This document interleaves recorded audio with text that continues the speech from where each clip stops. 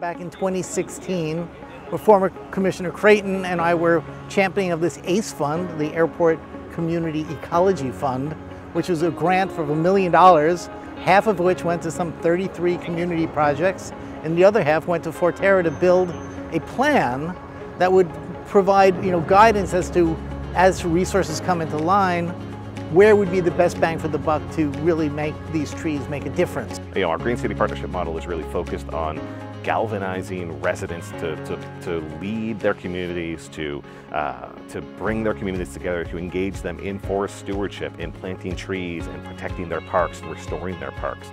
And this example here at WELS is just so much, not better, but just so much different because the students led the way.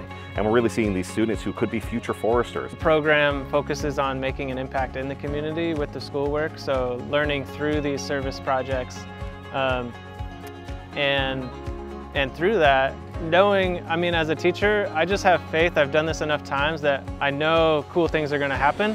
Whenever you start doing cool things in the community, people start coming out of the woodworks to just like, to help out. Like we heard today, they you know, focused on only planting native plants.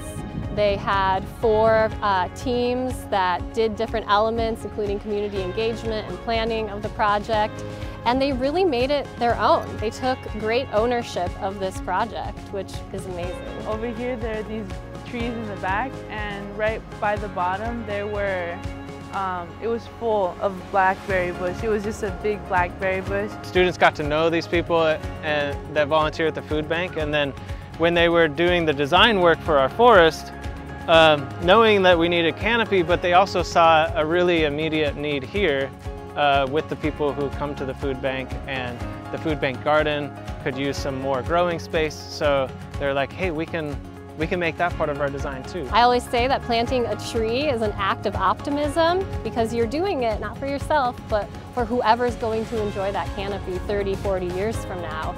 Um, so these students really showed a lot of optimism with this project. To hear these kids say how important it was to them that it was, uh, it planted in them this growing gratitude. That just puts it over the top for me.